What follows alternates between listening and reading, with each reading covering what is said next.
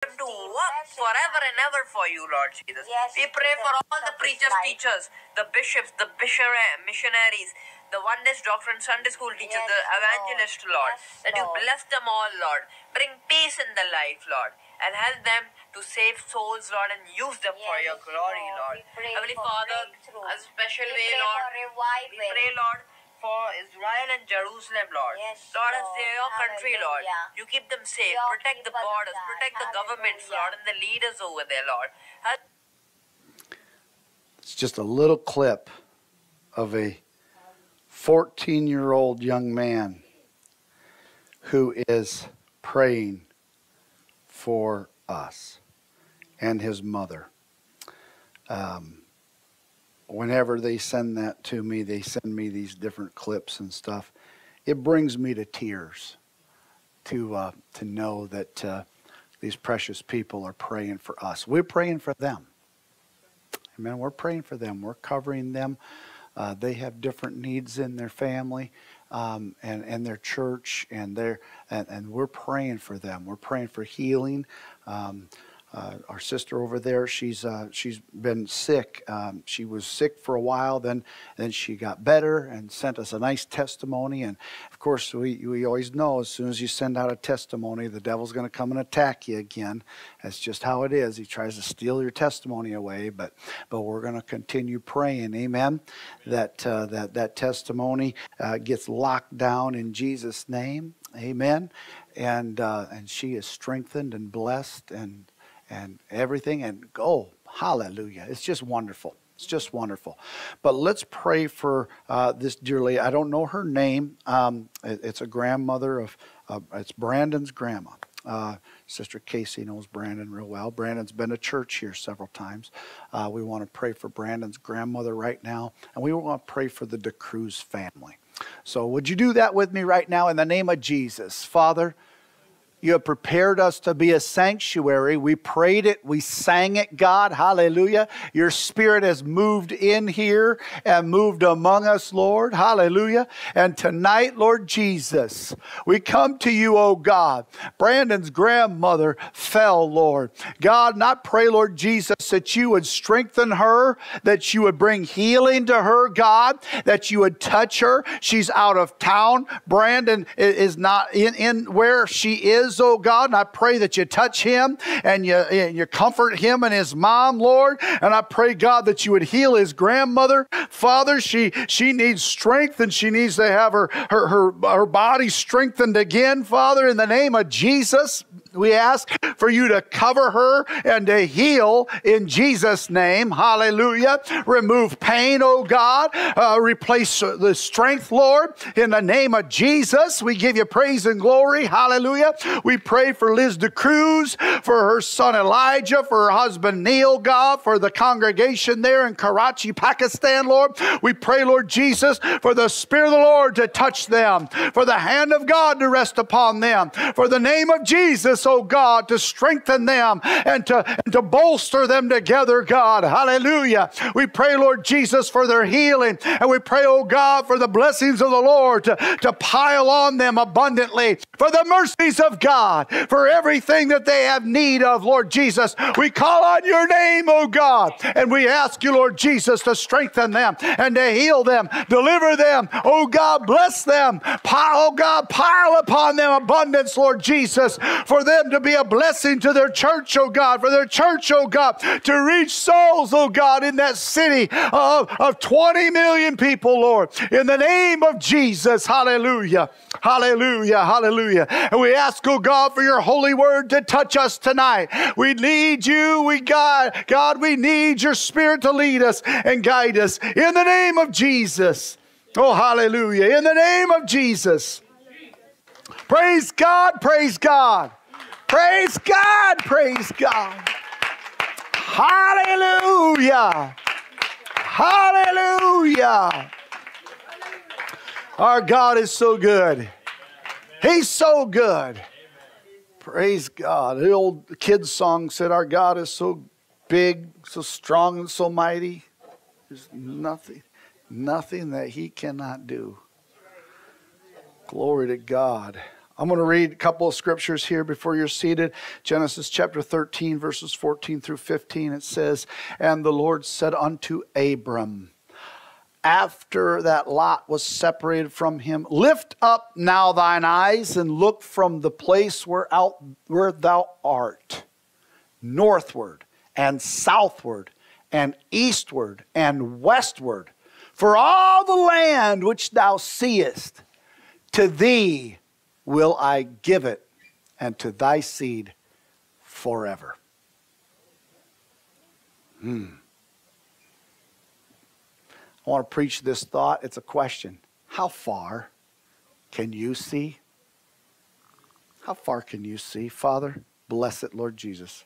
We ask for your blessings upon us all in Jesus' name. Amen. Would you turn around? Would you ask your neighbor, how far can you see?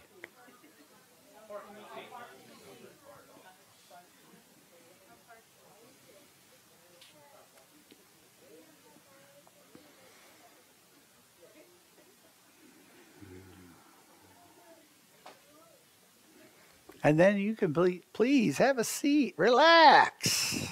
Relax. You've been standing for a long time.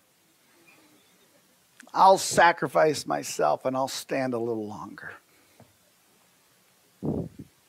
I know you really feel sorry for me.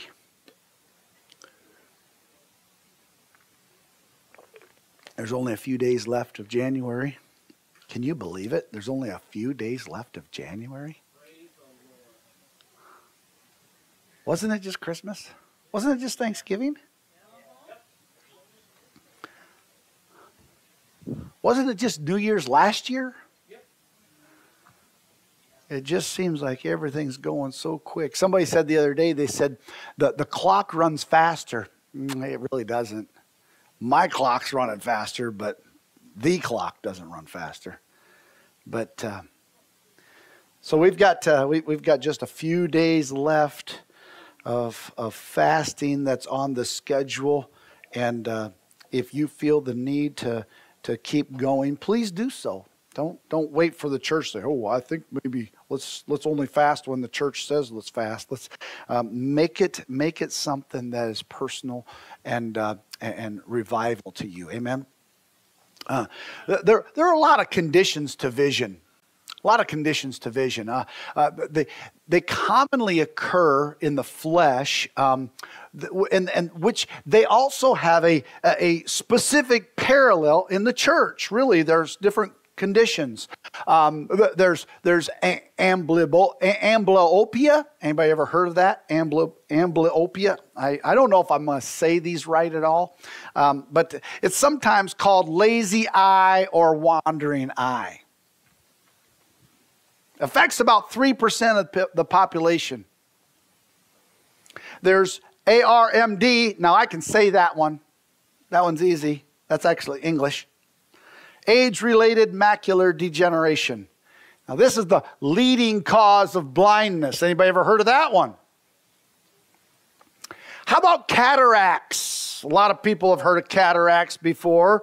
Uh, that's caused by the lens of the eye becoming cloudy or hazy. And then there's one that I, am not sure if I'm going to say this right. Strabimus, strab, strabismus, strabismus. Is that right? You, all you uh, doctors of eye-related situations. This is simply something that is you're cross-eyed. Scarlet can make herself strabismus she can make herself cross-eyed. But this is a uh, this is an issue where you don't make yourself cross. You're you're cross-eyed or you have a misalignment, and that, that results in double vision. Then there's diabetic retinopathy. That's a vision condition caused by, by an outside source, right? From diabetes. And then there's and then there's one called hyperopia. Any far-sighted people here? I'm not anywhere close to done. Hyperopia. Anybody farsighted? That's the technical term for being farsighted. It's easily outgrown um, when you're young, but then it also comes back when you get a little older again. It affects 25% of the population. Then there's presbyopia. That's normal farsighted caused by aging and uh, mostly over 40 years old. There's glaucoma. And that, this is a vision condition caused by pressure. It's the second leading cause of blindness, glaucoma.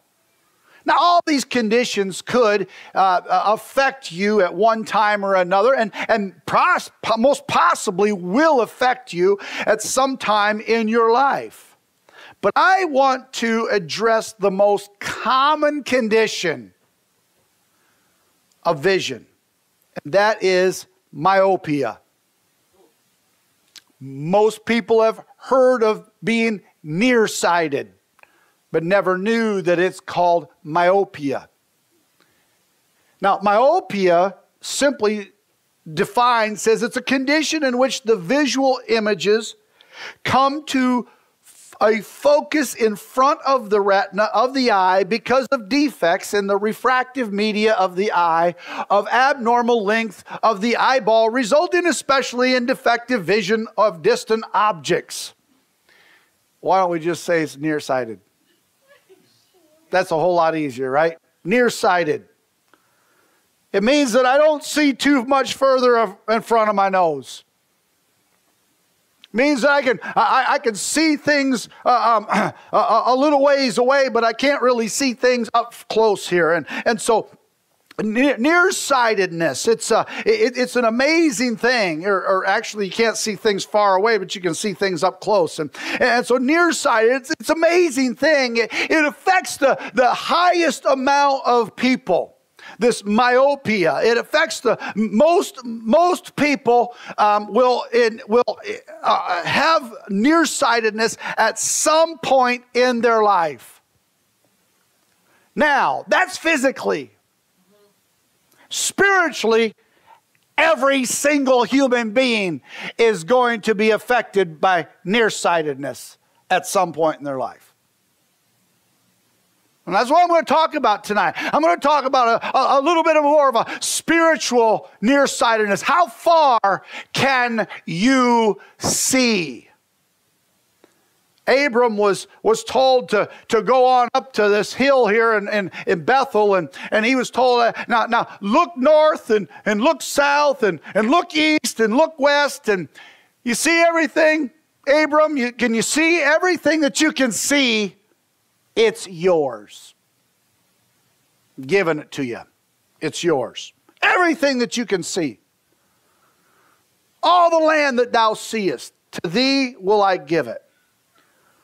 Now, Peter, he, he was a servant of the apostle of Jesus Christ. And in, in, in 2 Peter, he says, To, the, to them that, that have obtained like precious faith uh, with us through the righteousness of God and our Savior Jesus Christ. Peter, Peter says, Grace and peace be multiplied unto you through the knowledge of God and of Jesus Christ our Lord, according as his divine power hath given unto us all things that pertain unto life and godliness, through the knowledge of him that hath called us to glory and virtue, whereby are given unto us exceeding great and precious promises. By, by these ye might be partaker of the divine nature. having escaped the corruption that is in the world through lust. And beside this, giving all diligence, add to your faith. Oh, praise God. I like this part. Add to your faith, add virtue. Yes. Thank you, Lord. And to virtue, add a little knowledge. Praise God. To knowledge, temperance, and to temperance, patience, and to patience, godliness, and to godliness, brotherly kindness, and to brotherly kindness, charity. For if these things be in you and abound, they make you that ye shall neither be barren nor unfruitful in the knowledge of our Lord Jesus Christ. But he that lacketh these things is blind. Oh no. And cannot see afar off, and hath forgotten that he was purged from his old sins. Wherefore, the rather, brethren, give diligence to make your calling and election sure. For if ye do these things, ye shall never fall. God, what, what, what Peter is trying to tell us here, he's, what he's trying to tell the church here, what he's trying to tell the born again, what he's trying to tell us that have, that have been baptized in the name of Jesus Christ, that have been filled with the Spirit of God, that there are some things we have to add add in our lives. There are some things that, that we, we can't just get into church and just sit and, and, and not, not add anything and not do anything. We've got to start adding some stuff so we are not, so we don't end up blind. There's an inherent danger in nearsightedness. It creates a limited field of vision. I, I, I became nearsighted when I was fifth grade. I started started realizing, man, I can't see much. Can't see, can't see what's on the board. Now, now most kids today, they don't even know what a board is. Blackboard. Anybody, anybody remember those? Uh, with chalk and erasers and and you got to you got to go up and erase them and then you got to got to smack the eraser and clean it all out and stuff they don't have anything they, they don't have anything like that today you got all these digital things that they're kind of cool, but man, you need to have chalk in your eyes. You need to have a cloud of chalk in your when, when you're when you're in the classroom. You you got you, you got to go up and scratch the chalkboard and drive everybody crazy. I mean, it's just oh yeah, scratch my iPad. Just doesn't have the same effect, does it? Kids today are so wimpy. They need to have something that crawls up their back and makes their hair fall out.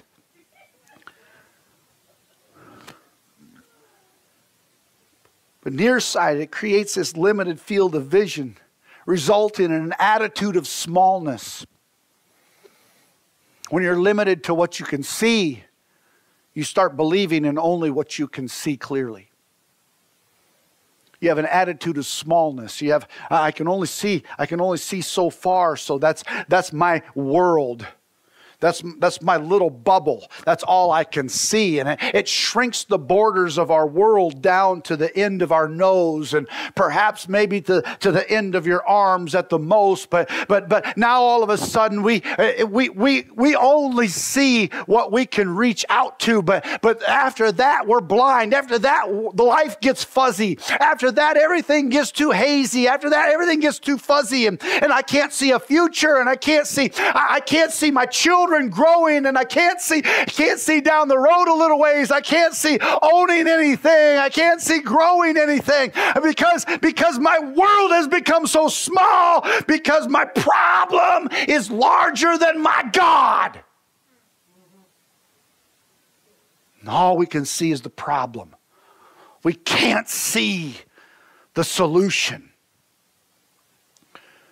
And when we get to a place where all we see is the problem because the problem consumes our field of vision and we can't see the solution because that's a little deeper into the Word of God and that's a little deeper into an altar and that's a little deeper in prayer and that's a little deeper in worship because we can't see past our problem. We are struggling and we are caught up in our problem and the Lord is trying to break that open and He's trying to give you vision that goes beyond your your problem.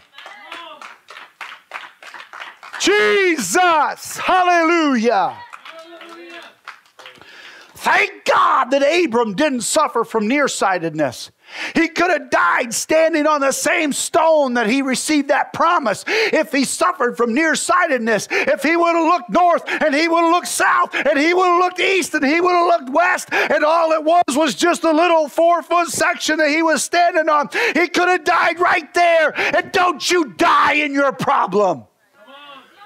Live in salvation. Decision that Lot and Abram took at Bethel.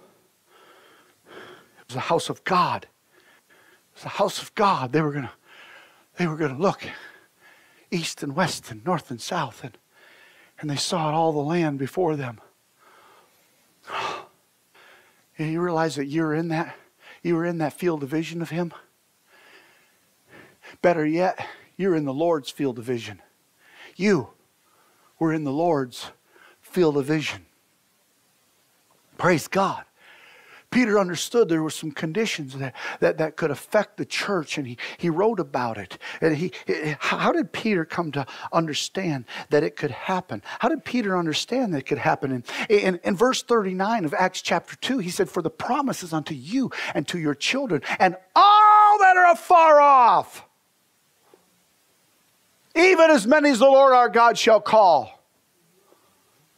And then chapter 10, verses 9 through 17, and I don't know if I'll read it all, but on the morrow, as they went their way, they uh, went on their journey and drew nigh unto the city, Peter went up upon the housetop to pray about the sixth hour. And he became very hungry and would have eaten. But while they made ready, he fell into a trance and, and saw heaven opened up and a certain vessel descending unto him, as it had been a great sheet knit at the four corners and, and let down to the earth, wherein were all manner of four footed beasts of the earth and wild beasts and creeping things and fowls of the air. And there came a voice to him, Rise, Peter, kill and eat. But Peter said, No, no, no, not so, Lord, for I have never eaten anything that is common or unclean. And the voice spake unto him again the second time, What God hath cleansed, that call not thou uncommon or common. That which was that was done th- this was done thrice, and the vessel was received up again into heaven.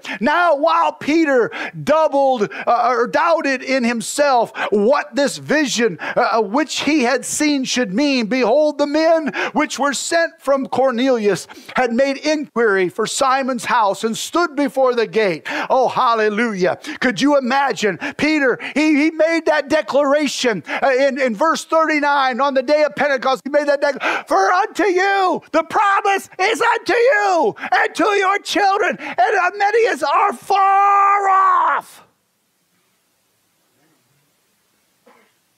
Could you imagine if Peter would have forgotten that? He almost did.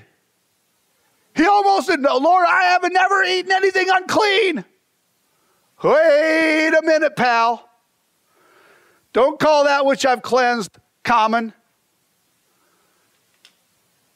Peter remembered you, you, you inspired me to preach something back at Pentecost, Lord, that you were calling our children. You were calling all that are afar off. You're telling me the promise is unto all of us. Thank you for reminding me. Thank you for clearing up my vision a little bit. Anybody ever gotten a little cloudy in your vision? Thank you for clearing up my vision a little bit. Thank you for helping me out. There's a reason that Peter fell into that trance. Amen? There's a reason for it. He started praying. There's a reason God took him to that place in the Spirit and gave him that vision in the Spirit because Peter needed his vision to be cleared up.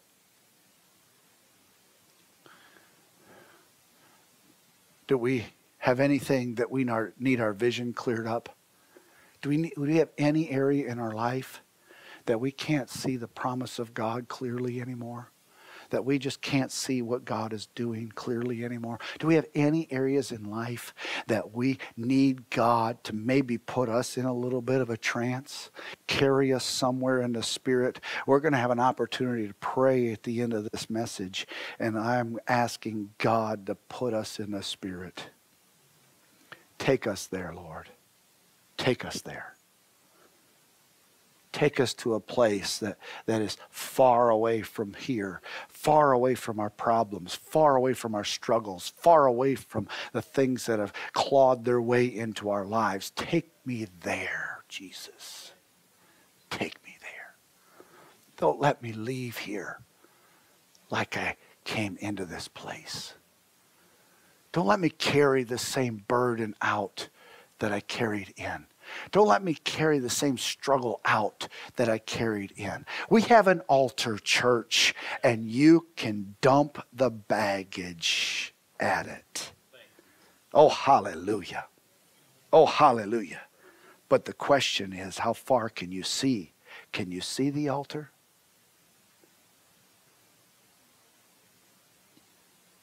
Sometimes I question maybe maybe we're sitting in church and we can't see the altar.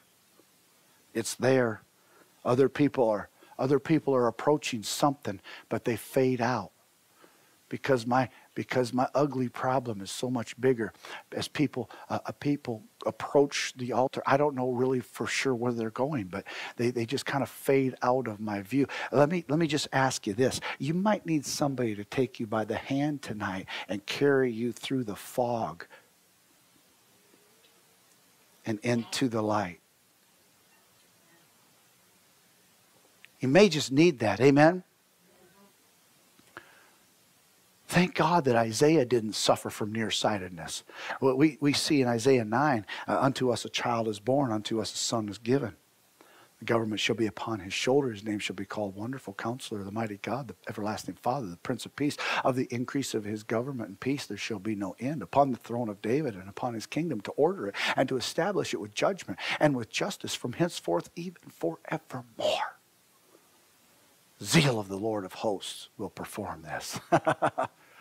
And further down, after, after Isaiah uh, went through so many different things, further down in chapter 60, he said, I, uh, uh, he says, arise, shine, for thy light is come, and the glory of the Lord is risen upon thee. For behold, the darkness shall cover the earth, and gross darkness the people. But the Lord shall arise upon thee, and his glory shall be seen upon thee, and the Gentiles shall come to thy light, and the kings to the brightness of thy rising. Lift up thine eyes round about and see. All they gather themselves together. They come to thee. Thy sons shall come from far, and thy daughters shall be nursed by thy side. And then, then, then shalt thou see and flow together and that heart shall fear and be enlarged because the abundance of the sea shall be converted unto thee. The forces of the Gentiles shall come unto thee. The multitude of camels shall cover thee. The dromedaries of Midian and Ephah, all they that, that from Sheba shall come. They shall bring gold and incense and they shall show forth the praises of the Lord.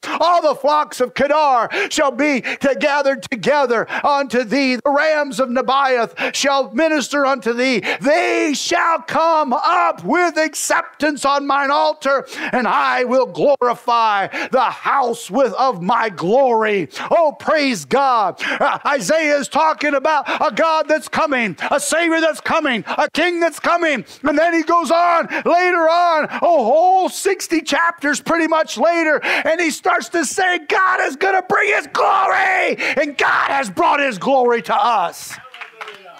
Oh, hallelujah. Clap your hands to the Lord and shout, Jesus. Hallelujah. Praise God. Elisha's servant was nearsighted. Hmm. But Elisha, he knew it could be corrected. All it needed was a touch of God's hand. The servant wasn't totally blind, he just had a little eye trouble. In 2 Kings chapter 6, and when the servant of the man of God had risen early and gone forth, behold, an host compassed the city both with horses and chariots, and his servant said unto him, Alas, my master, how shall we do? he answered, Fear not, for they that be with us are more than they which be with them.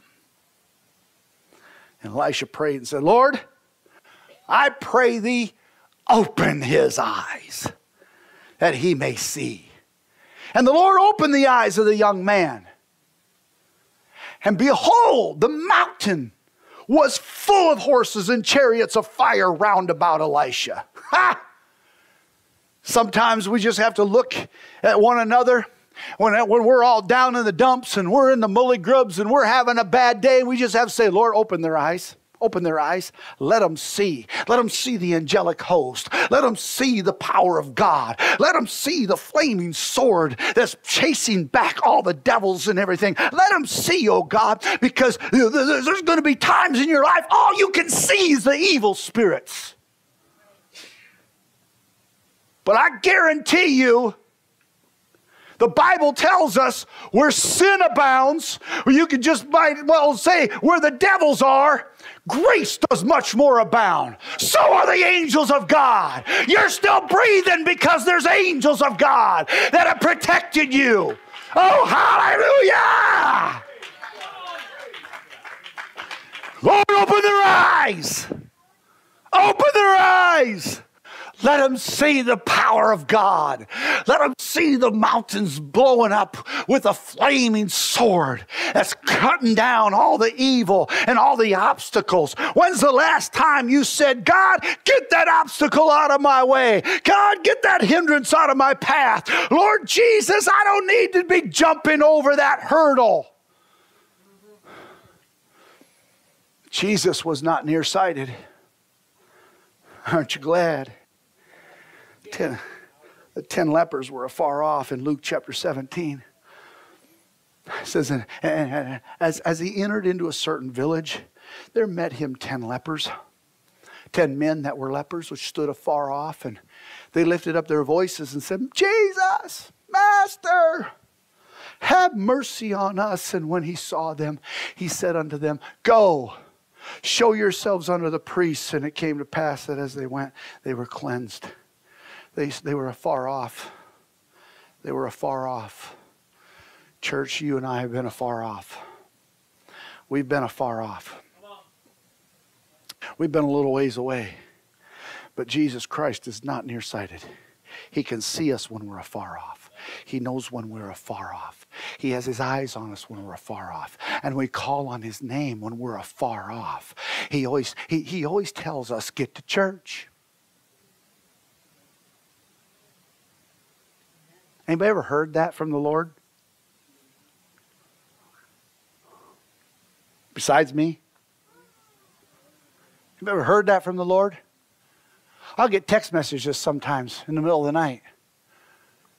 Oh, I need to be in church. Oh, you're afar off and Jesus is seeing you. And I say, Yes, you do. We're here. Jesus is here. You know, it, it's, it's amazing to me that when we are far off, the Lord still tells us, Get to my house. Get among my people. You need the prayers of the saints. You need the fellowship with the saints. You need to worship in the sanctuary. You need to be in the house of God. It happens. It happens when we're when we're close. It's just our lifestyle. We're just there's nothing going to get in our way. When we're close to God, there's nothing going to get in our way. It's just uh, hey, it's church time. We're in church. But when we're afar off, it seems like a lot of things have a chance to get in our way. We're nearsighted, but Jesus isn't. We're laying there. We're tormented by things that are going on in our lives. And Jesus says, You need to be in my house. And we're like, Yeah. What's going on, Lord? I don't feel the peace. I don't feel the strength because you need to be in my house. I don't feel your spirit, but you need to be in my house.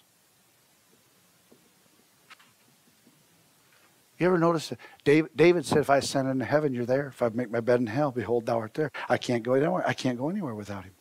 Be in there. The demoniac and, Gadara um, in, in, Mark chapter 5, uh, we're, gonna, we're not going to read it, but uh, the demoniac and Gadara, he, he understood, the, those, those demons knew, hey, hey uh, um, um, there's, there's some pigs close. Let's, can you send us into the pigs? They're close by. They're close by. You, you see, the devil always wants to get close he wants to get in the closest thing he can because the devil can't see very far. So he just says, oh, there's the pigs over there. They're, they're nice and close. Can I just get into the pigs? The prodigal's father was not nearsighted. Praise God for that. Aren't you happy for that? In Luke chapter 15, uh, he says, and he arose and came to his father. But, but when he was yet a great way off, his father saw him.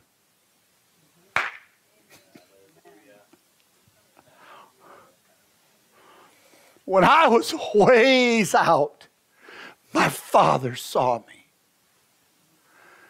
He was yet a great way off. His father saw him and had compassion and ran and fell on his neck and kissed him. And the son said unto him, Father, I have sinned against heaven and in thy sight, and am no more worthy to be called thy son. But the father said to his servants, Bring forth the best robe, put it on him, and put a ring on his hand, and shoes on his feet, and bring hither the fatted calf, and kill it, and let let us eat and be merry. Church, would you stand with me right now? Would you lift up your hands and would you thank the Father of all heaven and earth that He saw you a great way off and came running? Jesus! Ila.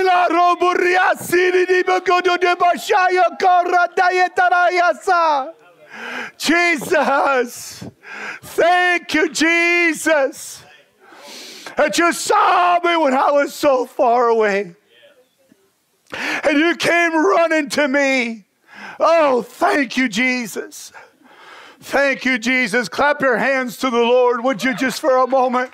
Just give the Lord a little praise and a little adoration. Oh, hallelujah, hallelujah, hallelujah, hallelujah. Hallelujah, hallelujah, hallelujah.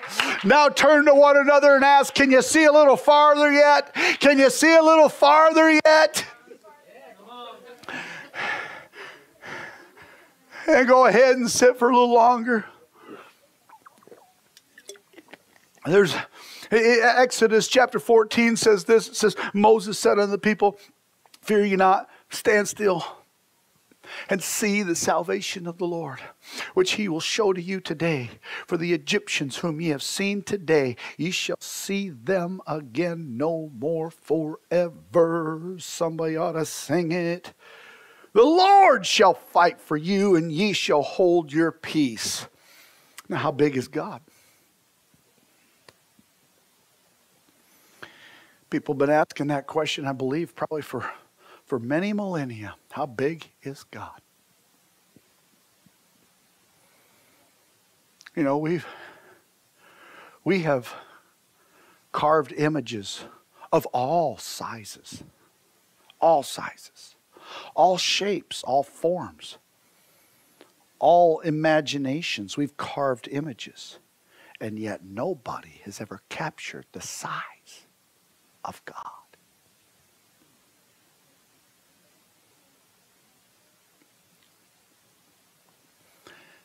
Because God fills all space.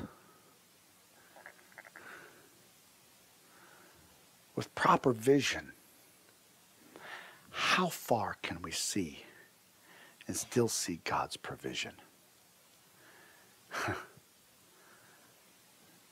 Psalm 139, it's just it's such a wonderful psalm. Oh Lord, thou search me and known me.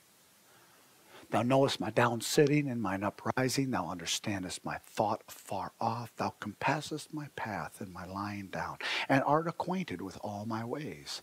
For there is not a word in my tongue, but lo, O Lord, thou knowest it altogether. Thou hast beset me behind and before, and laid thine hand upon me. Such knowledge is too wonderful for me. It is high. I cannot attain unto it. Whither shall I go from thy spirit? Or whither shall I flee from thy presence? If I ascend up into heaven, there it is, church, thou art there. If I make my bed in hell, behold, thou art there. If I take the wings of the morning and dwell in the uttermost parts of the sea, even there shall thy hand lead me, and thy right hand shall hold me. If I say, Surely the darkness shall cover me, even the night shall be light about me.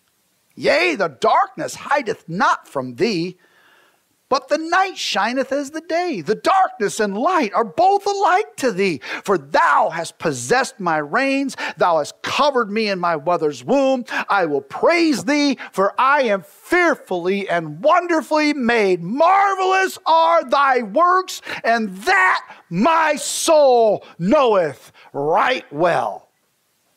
Hmm. My substance was not hid from thee when I was made in secret and curiously wrought in the lowest parts of the earth. Thine eyes did see my substance, yet being unperfect in thy book, all my members were written, which is con- in continuance were fashioned, when as yet there was none of them. How precious also are thy thoughts unto me. Oh God, how great is the sum of them. If I should count them, they are more in number than the sand. When I awake, I am, I am still with thee. Surely thou wilt slay the wicked, O God. Depart from me, therefore, ye bloody men, for they speak against thee wickedly, and thine enemies take thy name in vain. Do not I hate them, O Lord, that hate thee? And uh, am I not I grieved with those that rise up against thee? I hate them with perfect hatred. I count them mine enemies. Search me, O God, and know my heart. Try me and know my thoughts see if there be any wicked way in me, and lead me in the way everlasting. Aren't you glad that David wasn't nearsighted?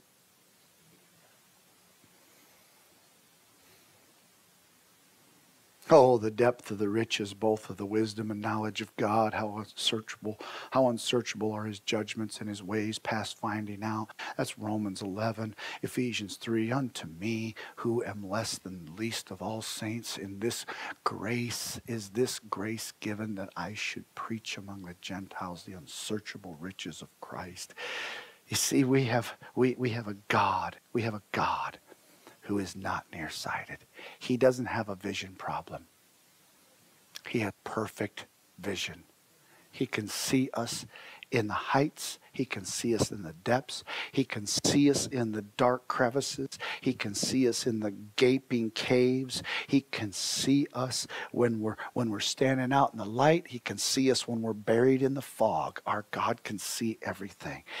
We may not be able to see past our nose. We may be struggling with, with the thoughts of tomorrow. It, it, could be just tomorrow could be a heavy burden to some of us. It could be something that I'm I'm just not looking forward to tomorrow. Anybody ever said that? A lot of people have said that. A lot of people have said that every every week to me. It seems like somebody says, "I'm just really not looking forward to tomorrow." And I always ask, "Well, what's happening tomorrow?" Some people say, "Well, I have to go to the doctor and I've got I, I've had tests run and I I need to go hear the report. Or some people say, I've got, I've got issues that I, have got to go to court or I've got to talk to the police. And, and, and, and some people are like, well, I, I, I've got a bill to pay and I have absolutely no money to pay it with. And, and I, my, my, my lights could get cut off tomorrow, my electricity, everything. I've, so many people have said, I'm just not looking forward to tomorrow. Church, that should never be you and I.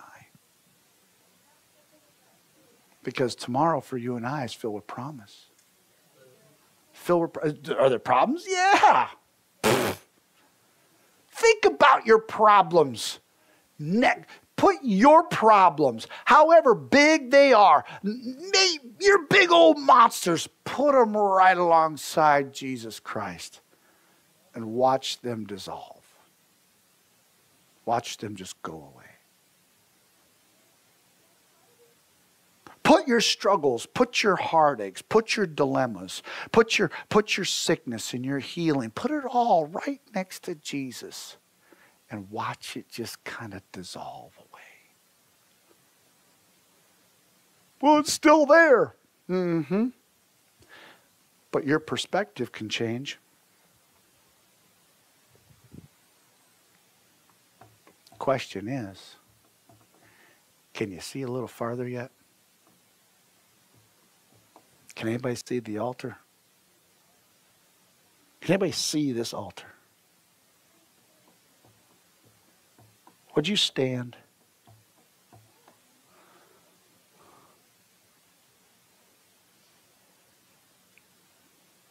Now, I don't know who cannot see the altar, but I'm going to ask everybody take somebody by the hand. Don't ask them, can you see the altar? Don't ask him, is it, is it too far away?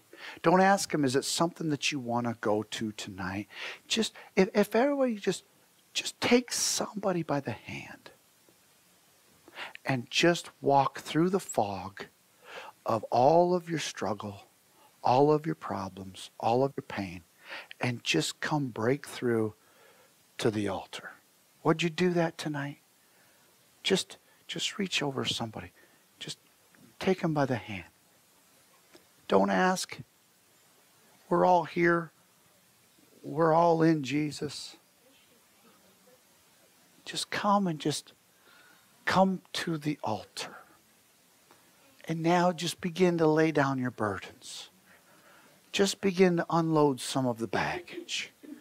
Just begin to, to, to shed some of that some of that burden off of you. Begin to begin to present it to the Lord. Begin to just just offer it to Him. Father, this is th- this is it, Lord. This is who I am. This is what's going on. This is this is what what is what is I'm struggling with. This is what's ugly in my life. This is what has uh, got me confused. This is what is uh, this this is what is attacking me. This is what's stealing my peace. This is what's robbing me of joy. This is what is holding me back. This is what is tripping me up. This is what is an obstacle, and this is what is a hurdle, and this is what is a hindrance. And, and Lord Jesus, and, and, and this is what's causing my ears to be a little clogged to your voice, and, and, and everything's dull. And, and this is what's causing my vision, God, to be so nearsighted. This is what's causing me to not be able to see very far. This is it, Lord Jesus. And give that to Him right now. Give that to Him. It could be a health problem, it could be a family member, it could be anything. It could be, it could be a sin problem. It, it could be anything. Just offer it to Him tonight. Say, Here it is, Lord. Here it is. I got to get it off of me and I got to get it out of me. And I got to I gotta lay it before you.